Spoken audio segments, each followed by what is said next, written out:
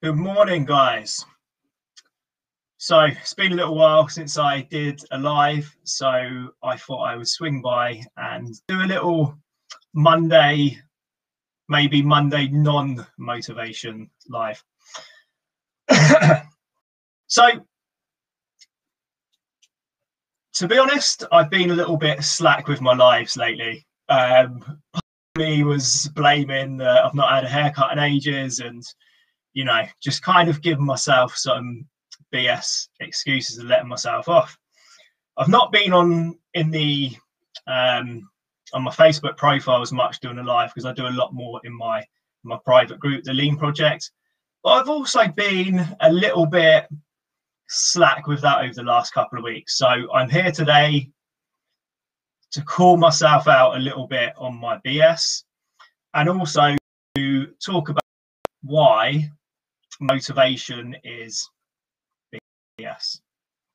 So we had a uh, virtual office day with the coaches I work with and some of the guys I work with who are online fitness professionals. And our coach has challenged us to go, if possible, five times this week.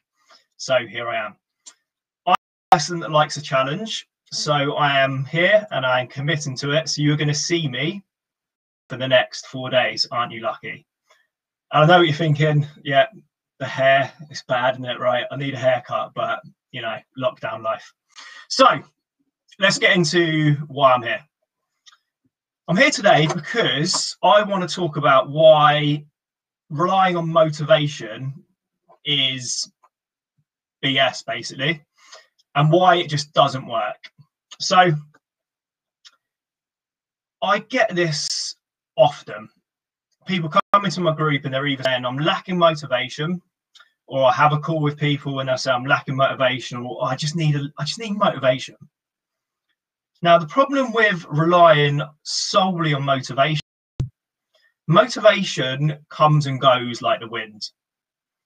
You may wake up one morning and feel super motivated, you may wake up the next morning and feel like your motivation's completely gone. And there can kind of be no rhyme or reason behind it. One day you just wake up motivated, another day you don't. So if you're always being motivated, it's just not going to be enough and it's not going to work. I'd admit last week I didn't feel particularly motivated. I had one of those weeks where I started the week good. And as the week went on, just lost a little bit of motivation.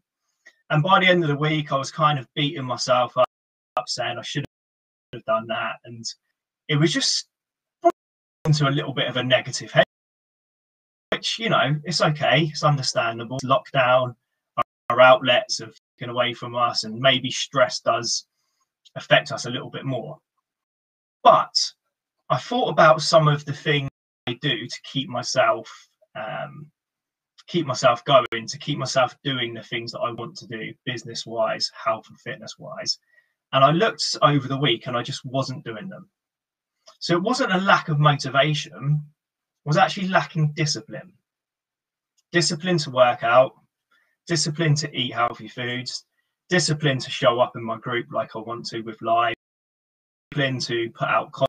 I like to serve my I like to put out good content, discipline to reach out to potential and discipline to show up as much as I want to.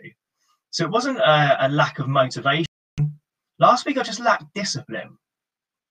So there's a big difference between motivation and discipline. You're not always going to be motivated. It's just not going to happen.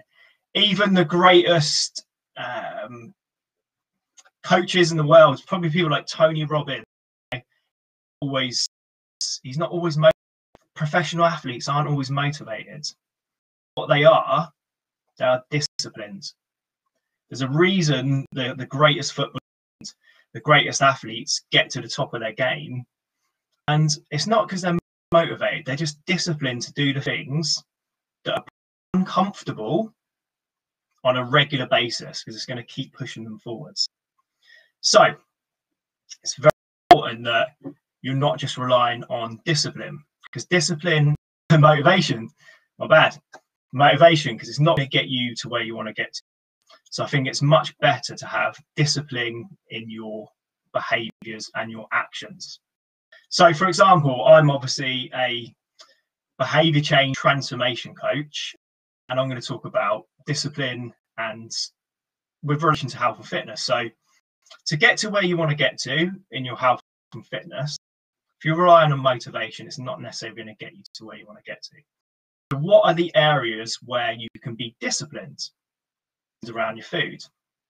Discipline to say when you've decided to work out, you will work out.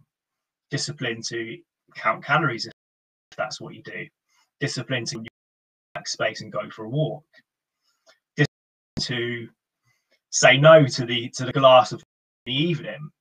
All these things require require discipline instead of motivation. So if you want to improve your your situation, then what are the areas where you be disciplined? Now, is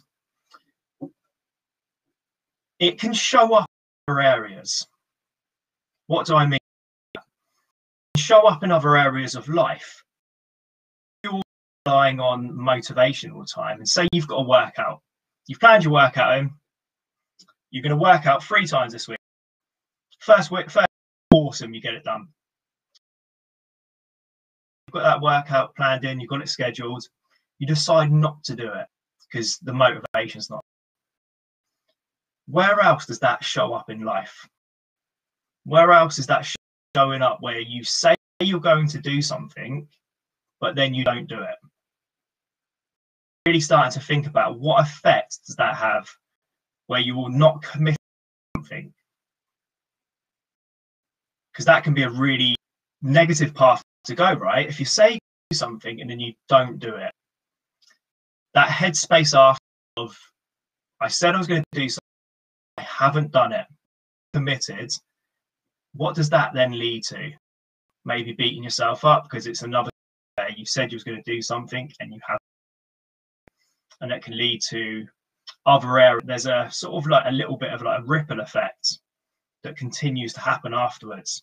Eating up, saying I, I, I knew I wasn't going to do it, you know, maybe feeling like you're not you're not good enough. So that can have a effect going on forwards. Whereas if you're disciplined and you say to yourself, no, I to work out, even in those times motivation is low because we can't rely on motivation those times when you do train, when you don't want to, those are the areas which make the biggest difference. I would even say professional athletes, probably nine times out of 10, if you said to them, you could get in the shape you want to get into, get all the benefits of the exercise, look good, feel good without doing the training, probably. So it's so important to do your workouts and eat the food those moments when motivation is to having discipline to to follow it because that's going to make the difference in your health and fitness going forwards. Now, how do this? Small step, make big change. So instead of thinking you've got to train five a week to live off chicken and it's not going to be sustainable, and you're going to hate just say to yourself, what can I do this? It's just going to push the lever just that little bit forwards. Maybe it's one hour workouts this week. Maybe it's uh, drink two liters of water. So all quite small steps forwards. But then what can happen is they sort of you start to see these little changes happen week day by day, week week then guess what happens? That fact, that word that we talk about, motivation actually increases because you start to feel a little bit fitter, start to feel a bit healthier, maybe start to feel a little bit stronger, a little bit minds can start making decisions better. All these things sort of compound on top of each other. And then you kind of don't necessarily have to run motivation all the time because you actually start wanting to do these things. And they all they all start to link. Now, you're probably thinking, yeah, I don't have time, or what if I don't have time, or Um, I've tried these things before and they just don't work. And I, I just need motivation. Just have a little think about is it really motivation that you need? And then just start some of these things in place. Start drinking the water, start getting up from your desk and, and walking about for one or two healthy meals. Start implementing these little changes that can really start to move the forwards. And then you should rely on motivation all the time because that's not going to last for as long. And then we you can start to really move forward with your health and fitness. Now, what I would suggest you work on is probably just have a little little think about really for you, or is a little bit discipline with your action. So I would work on just thinking that, and then going out and taking action. Like anything, you know, you could read the in the world, and you could read all these books. You can have all that information, all that knowledge. If it's inside your head, anything with the, the it's almost useless. You have to put that information into action. So the information hopefully I've given you today, go out and action it. All right. Cheers, guys. Speak soon.